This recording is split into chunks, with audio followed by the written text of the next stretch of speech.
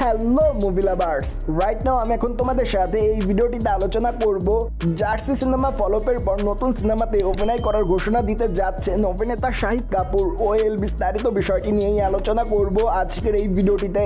So let's move on the main video বলিউডের জনপ্রিয় এবং আলোচিত একজন তারকা হলেন শাহিদ কাপুর।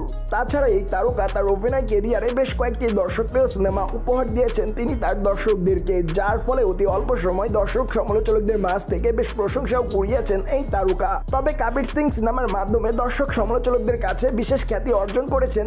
এছাড়া এই তারকার সর্বশেষ মুক্তিপ্রাপ্ত সিনেমার নাম হচ্ছে জার্সি, যেটি তেলুগু অভিনেতা, নানি অভিনীত তেলুগু সিনেমা জার্সির রিমেক। যদিও সিনেমাটি মুক্তির পর বক্স অফিসে মুখ থুবড়ে পড়েছিল।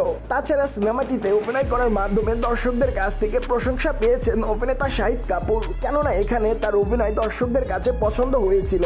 যার ফলে সিনেমাটি ফলপ হওয়ার পরেও দর্শক সমালোচকদের কাছ থেকে প্রশংসা করাচ্ছেন এই তারকা। এদিকে সম্প্রতি জানা যায় যে, নতুন আরেকটি সিনেমাতে কাজ করতে যাচ্ছেন এই অভিনেতা।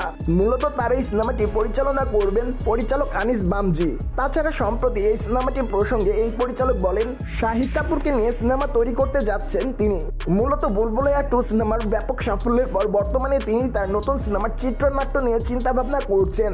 আর সেই সিনেমাতে নায়ক চরিত্রে অভিনয় করতে দেখা যাবে অভিনেতা শাহিদ কাপুরকে। মূলত তার বিপরীতে কে থাকছেন সেই বিষয়টি এখনও নিশ্চিত করেনি এই পরিচালক। কেননা আপাতত তিনি শুধুমাত্র নায়ক হিসেবে শাহিদ কাপুরকে চূড়ান্ত করে রেখেছেন। মূলত এ কথাগুলোর পাশাপাশি এই পরিচালক আরও বলেন শাহিদ আমার ভালো বন্ধু। সে আমার সঙ্গে আগে থেকে কাজ করতে চেয়েছিল।